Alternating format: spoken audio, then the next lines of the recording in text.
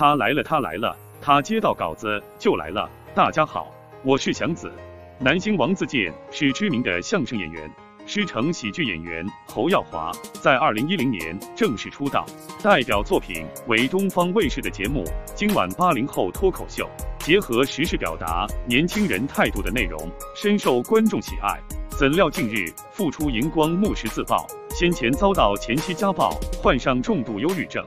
女方也在十七日发文控诉他满口谎言，双方各执一词，引起热议。王自健自曝遭到前妻家暴，并患上严重忧郁症。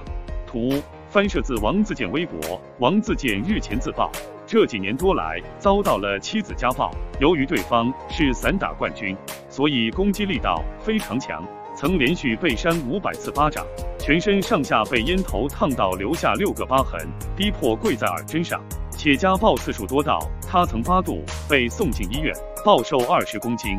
随后两人协议离婚后，发现女方将他名下财产转移，导致人财两失，双重打击之下患上严重忧郁症。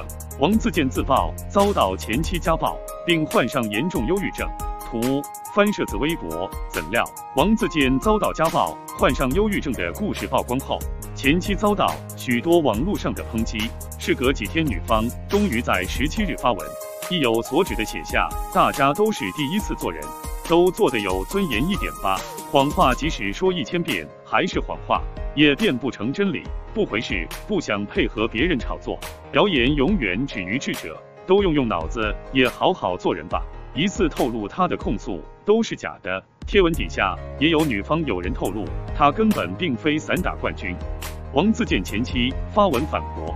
图翻摄自微博，对此，王自健也在前妻发文反驳后做出回应，表示之前的事真的是过去了，大家的关心收到了，更希望大家跟我一起往前看，日子还得过下去呢，并没有正面回应对方的控诉。